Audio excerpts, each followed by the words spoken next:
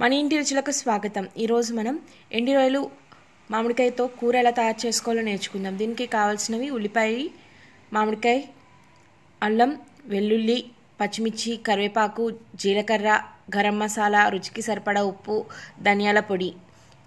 శుభ్రంగా కడుక్కుని పది నిమిషాలు వేడినీటిలో నానబెట్టి పెట్టుకున్న ఎండు రొయ్యలు పసుపు కారం.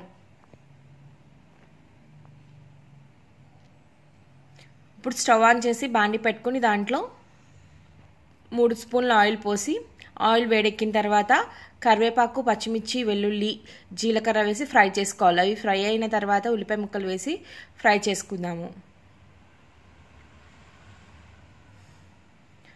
అల్లం తురుము కూడా యాడ్ చేసేసాను. ఇప్పుడు ఎండురాయలు వేసి ఒకసారి మిక్స్ చేసుకుని పది నిమిషాలు మగ్గించుకోవాలి.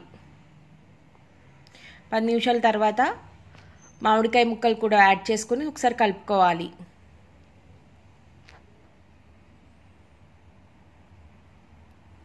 కలుపుకున్న తర్వాత పసుపు కారం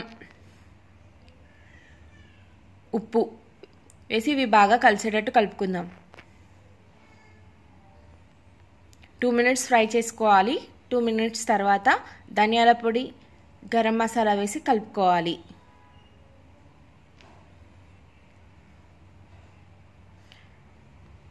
బాగా కలుపుకున్న తర్వాత తగినన్ని నీళ్ళు పోసుకోవాలి. నీళ్ళు పోసుకున్న తర్వాత ఒక ఐదు నిమిషాలు మూత పెట్టి నీరు ఎగిరేంత వరకు కుక్ చేసుకుందాం. ఫైవ్ మినిట్స్ అయింది మూత తీసి చూద్దాము. రెడీ అయిపోయింది. ఇప్పుడు దీన్ని సర్వింగ్ బౌల్లోకి తీసుకోవాలి. ఇది వేడివేడి అన్నంలోకి చాలా బాగుంటుంది. ఈ వీడియో కనుక మీకు నచ్చినట్లయితే లైక్ చేసి షేర్ చేసి సబ్స్క్రైబ్ చేయండి. Thank you for watching